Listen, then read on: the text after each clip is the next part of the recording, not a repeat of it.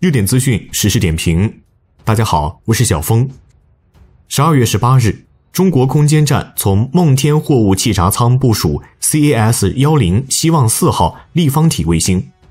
日本无线电爱好者成功接收到卫星信号。梦天实验舱上专门配置了微小飞行器在轨释放机构，能够满足百公斤级微小飞行器或者多个规格立方星的在轨释放需求。当需要执行释放任务时，航天员只要把卫星安装在释放机构肚子里，再整体安装在载荷转移机构上，跟货物出舱流程一样，经气闸舱泄压后，把释放机构送到舱外，随后机械臂抓取微小卫星释放机构。运动转移至发射方向，在收到地面发送的释放指令后，释放机构就会像打弹弓一样，将微小卫星弹射出去，实现在轨释放。有了它，中国空间站无需火箭就可以在太空中发微小卫星，还能实现卫星的快速入轨，经济又高效。而对此，美国指责中国空间站的军事目的。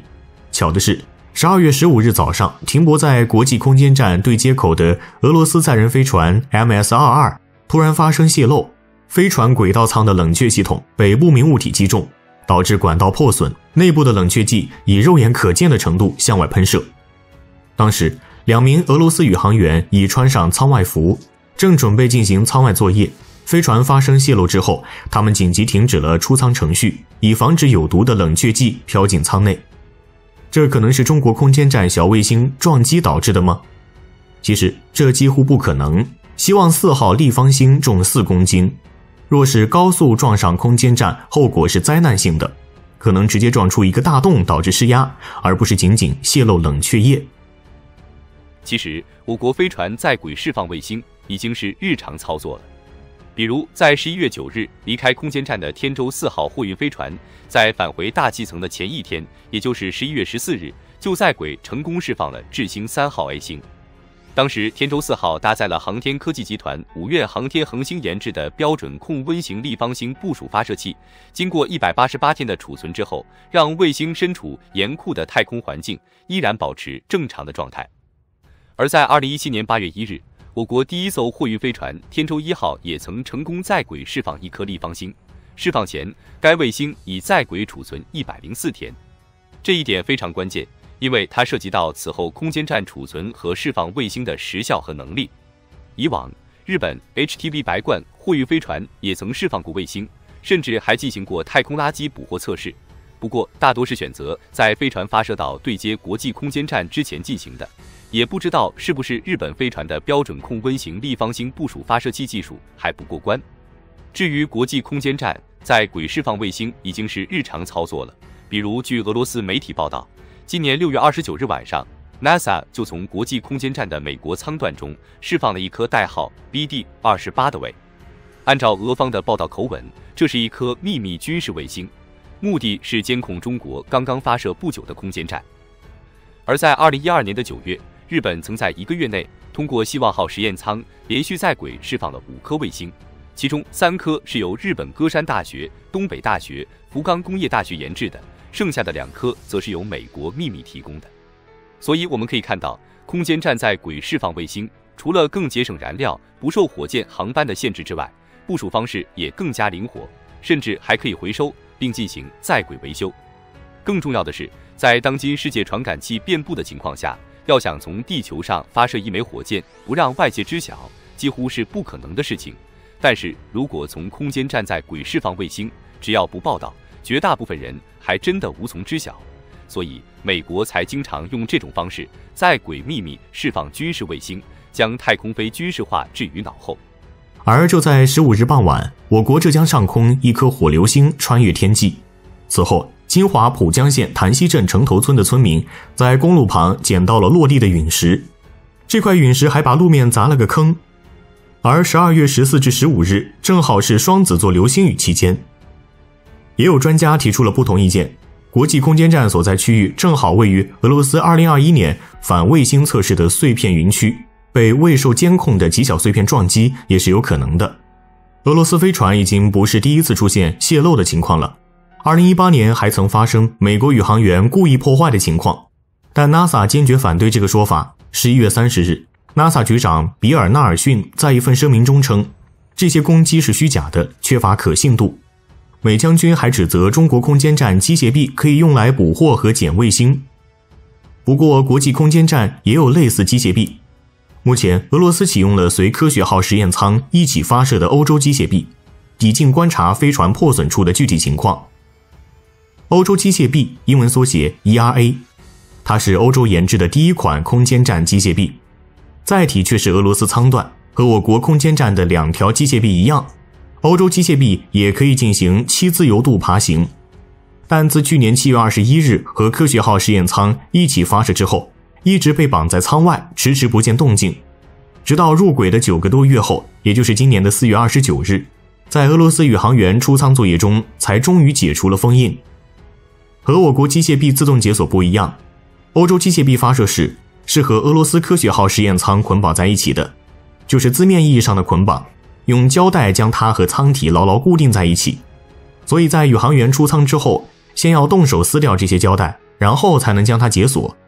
据说仅仅撕胶带的工作就用了两次舱外作业的时间。由于俄乌战争的影响，解锁后的欧洲机械臂也没发挥什么作用，一直处于闲置状态，甚至在今年七月十二日。时任俄罗斯国家航天集团总裁的罗戈金还曾表示，停止使用为国际空间站俄罗斯部分提供服务的欧洲机械臂，而现在算是终于活过来了。此前，科学号实验舱发射前，国际空间站的加拿大二号机械臂也曾离开大横架上的基座，爬到曙光号功能货舱上，对即将使用的俄罗斯对接口进行检查。干这个事情是太空机械臂的强项。而失去部分冷却剂之后，有消息说俄罗斯飞船舱内的温度一度达到了近五十度，最新的说法也有三十多度。正常来说，载人飞船舱内是二十多度，现在已经超了近十度，这显然给宇航员的返航造成了较大的困难。目前俄罗斯有几个选择，首先是紧急从地面发射一艘新的载人飞船，接替联盟 MS 二二，按空间站载人飞船发射的惯例。一般都是一艘飞船为发射，而下一艘则作为备份。两艘飞船都已经生产完毕。另外，在拜科努尔发射场，联盟火箭也有库存的，但必须要了解，这不是热备，也就是说无法随时准备发射，必须要推到发射台上，加注燃料，并且进行所有测试项目，然后再发射升空。以中国神舟飞船紧急救援的准备时间大约为八点五天为例。联盟号发射准备时间也不会短，相信 SpaceX 的龙飞船也不可能热备。其次，则是让联盟 MS-22 提前离轨返回地球。按照原计划，飞船还有一百天左右的任务期，提前返回将对空间站的运营产出较大的影响。目前，国际空间站上总共有七名宇航员，其中美国三人，日本一人，俄罗斯三人。联盟 MS-22 真要提前返回，俄罗斯舱段就无人照料了。第三个选择则是派人是堵漏和重新加注，宇航员出舱堵漏，俄罗斯原先操作过。二零一八年，美国太空钻孔专家瑟琳娜在联盟 MS 零九轨道舱钻孔之后，就是俄罗斯两名宇航员去舱外找到病灶并修补好漏洞的。但是，太空重新加注冷却液不但是前所未有，甚至估计地面也从未模拟过。就算俄罗斯宇航员再大胆，也不会冒险尝试。如果联盟二十二号报废，此时要紧急撤离国际空间站，那么有三人将无路可走。假设一种非常极端的状况，比如国际空间站遭遇了陨石雨或者碎片云，瞬间国际空间站可能会被大规模破坏，宇航员们甚至只来得及用船上舱外宇航服维持生命，必须在十几个小时内完成救援。此时该怎么办？地面发射显然已经来不及了。只能寄希望于中国天宫空间站的太空救援，有可能吗？答案是，确实是有可能的，但困难很大。从理论上来看，两者最近时只差高度的十几千米，但最远可达两万千米以上。